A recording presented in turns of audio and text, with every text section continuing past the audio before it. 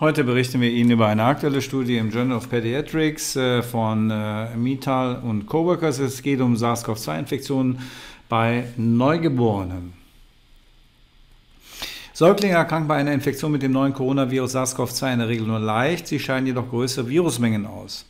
Kinder und Säuglinge werden selten auf SARS-CoV-2 getestet, da eine Erkrankung bei ihnen in der Regel asymptomatisch oder milde verläuft. Auch am Ann Robert äh, äh, Lurie Children's Hospitals in Chicago wurden die Infektionen bei 18 Säuglingen eher zufällig entdeckt.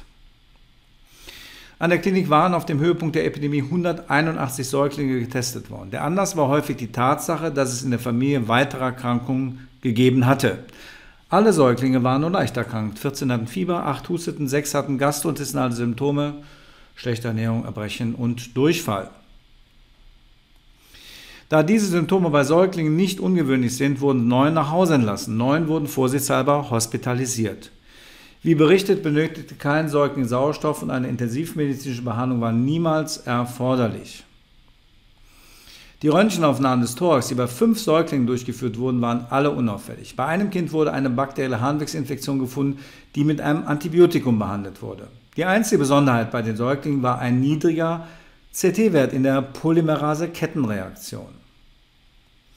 Der CT-Wert ist die Zahl der Vermehrungszyklen, die notwendig sind, um die Virusgene nachzuweisen. Ein niedriger CT-Wert zeigt eine hohe Viruslast. Die CT-Werte waren bei den Säuglingen ungewöhnlich niedrig. Bei einem Säugling musste der Testansatz sogar verdünnt werden, um einen CT-Wert bestimmen zu können.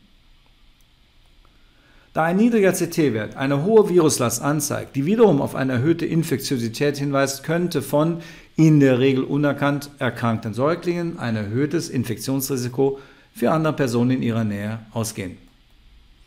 Weitere Informationen und Ergebnisse entnehmen Sie aktuellen Publikationen im Journal of Pediatrics.